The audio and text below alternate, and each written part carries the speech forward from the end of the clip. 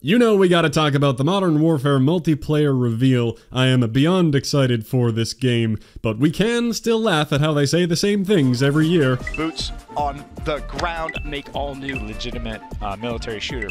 Pre-order. Pre-order. Pre-order. Pre-order now. Comes with night vision goggles. Enough fooling around. Everyone who went to the event is gonna have tons of info and gameplay. I'm just gonna focus on what I think was the coolest. The show began with the full trailer showing off tons of streaks, the focus on night vision, the doors, The doors, functionality for doors, and it's just a door. the noob tubes even. I can't wait to see if I can shoot the javelin inside. That should be hilarious. And it ended with the big nuke tease. September 12th beta. There will be crossplay in the beta, but first on PS4, of course. There's a reason my PS4 is still set up. Might have to get another bit of PS Plus again to jump in on that. I want that shirt, by the way.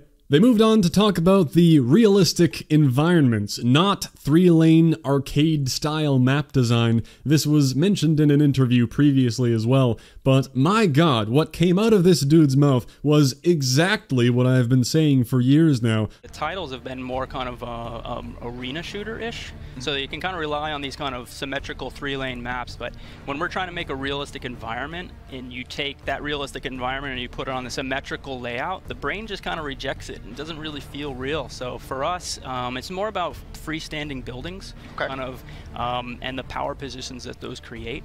Um, and this actually uh, kind of is very similar to how real military moves through places. I was starting to doubt if anybody gave a shit about it but me, but apparently it is something they wanted to try going back to, and I'm glad they're giving it a try. Some people will call the maps clusterfucky and compare it to Ghosts, I'm sure, but I think it is a big thing that people liked about older Modern Warfare games, even if they didn't know it. The freedom to go anywhere, explore, find jump spots and lines of sight on every map. It's a way of increasing the skill ceiling through map knowledge, not just through gun skill. They even mentioned the existence of intentional parkour puzzles to access special areas, cutting out invisible walls. If it looks like you can jump somewhere, you probably can, and that's going to be a big hell yeah from me. Then there's been tons of talk about the no minimap without UAV, now ultra mega confirmed. It's not something I'm particularly upset or excited about. I would prefer having a map in the casual modes, I think it helps with a more aggressive playstyle, but I can get on board with the idea of no map for the more competitive stuff where it's expected that you're going to be listening for sounds and your team's going to be communicating, but that just doesn't happen in pubs. And yet, I saw talk about how there will be a map by default in competitive which seems ass backwards to me. I don't know what's up with that, what the reasoning is. I think competitive should play similarly to the base game. Why would that be different? One of the big issues for some people is the teammate awareness part of the minimap, knowing where your team is so you can predict spawns and enemy locations. Thankfully, you don't have to worry about that. They said it was broken in this build, but that system will be in the beta and coming to the game where you can see teammates through walls. Anyway, I'm willing to try no map. Hopefully, the recon streaks don't become too crutch. In a similar vein, I'll mention that health regen is automatic. That's a hot button issue for some people. There is a stim shot type of thing to heal yourself faster, but it doesn't sound like it'll be a crutch. Next cool topic ballistics coming back. A big focus on realism in that department. They mentioned how it'll still have that tight COD feel at close range, but that all weapons are using projectiles that correspond to real life muzzle velocity values. It will depend on caliber, grain, barrel, using real life formulas in most cases, except for some adjustments for balancing reasons. But that will have an effect on everything. The kinetic energy drop off over range will affect how well something can penetrate a surface, for example so that's pretty neat. They dove into Create a Class. Pick 10 is no more. Some people probably not gonna like the sound of that. I do think Pick 10 is a good system, but I'm fine with going back and forth, not having the same thing every year. A back to basics in terms of class is alright, because they really went crazy funneling the complexity into the weapons and the gunsmith stuff with the absurd amount of attachments on every gun. You've probably heard the 30 to 60 number they throw out there per gun. To illustrate how much you could do with it, they used the the example of the AK, by changing the caliber, throwing on a different mag, a stock, a barrel, you could end up with something more like a 74U or more like an RPD. Very cool level of weapon customization. I love the theme of freedom everywhere, from the more open map design to the weapon sandbox, putting any attachment on any gun, even if it's a bad idea. They aren't going to hold your hand and say, don't put a high power scope on that shotgun. If you want to, go for it. And allowing for goofy killstreak equipment combinations. I might even make a different video to talk about killstreaks and perks, because I'm really into this, I don't know. But they mentioned how you can stick C4 to recon drones, giving me big Homefront memories. Anyone play that thing seven years ago? Discovering stuff like that is a big part of what's fun about a game, I think. I'm glad they're embracing it instead of locking everything down. That always felt like a weird, no fun allowed approach to me when everything felt so restricted to what you're supposed to do.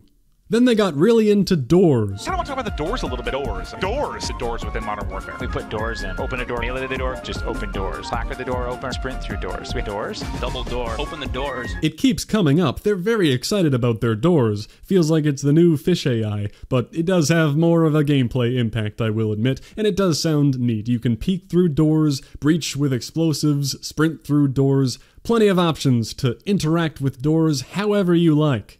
When it comes to the scope of some of the game modes, they mentioned a wide range of things with differently sized maps to accommodate them. We know about the 2v2 gunfight, the 6v6, 10v10, 20v20, and mentioned a ground war that supports more than 100 players. And that's just the beginning, they've said.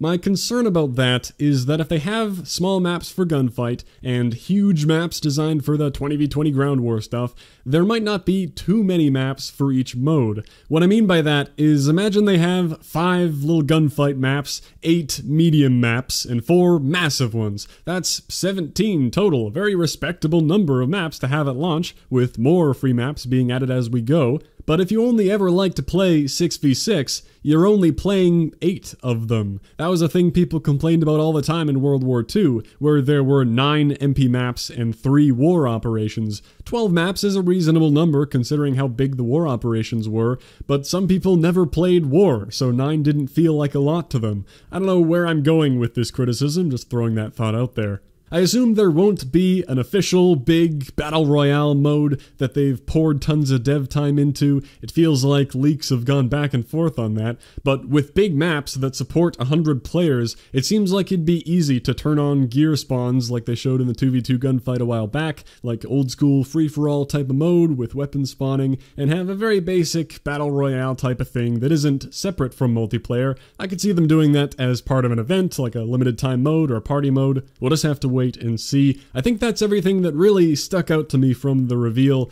Finally, I gotta say it every time why I'm excited for this game, because there will always be people saying, How the hell can you want to play a COD game after all these years? COD points, supply drops, they mess it up every time. A couple months in, they pull some nonsense. Are you that dumb and caught up in the hype to think this time will be any different? And yes, I may be very dumb, but that aside, I'm not buying the game because of that or because I'm caught up in hype. I'm not counting on things being different this time. We can hope that the MTX won't be fucked and we can continue to pressure them to make it better, but I'm not blindly believing it'll turn out perfect. That said, some things we already know are great signs, like the lack of a season pass. The splitting of the community through exclusive map pools has always been the biggest negative impact on gameplay for me. If they're keeping people playing with with free seasonal content updates, that's amazing. Much bigger deal than something like even the RNG guns problem. And they can sell all the overpriced cosmetics they want, I don't care at all. But the fact remains, despite the bullshit there has been in previous years, I get my money's worth every time. I've never bought COD points and never felt like I needed to. I'll be getting the base version of Modern Warfare. COD is pretty universally mocked, but there is a lot of content in these games. I easily put in hundreds of hours every year. Love the journey, love making the videos, and I'm more excited this year than I ever have been because of the modern theme, many of the features we've seen, and because I'll be able to devote more time to it than I ever could in previous years. So if you regretted buying BO4, yeah, maybe maybe skip this one. That's fair enough. Don't get caught up in COD hype if you find yourself being disappointed every year. But I've enjoyed it every year. Even though I'm very done with BO4 now, I double 100%ed the bitch. I had my fun. So I remain excited as hell for Modern Warfare. If you're not looking forward to it, I'm not going to sell you on it, but I hope you're excited as well so we can all embark on this journey together and absolutely destroy this game come October. You already know I'm earning everything there is to earn. Thanks for watching. I'll catch you next time.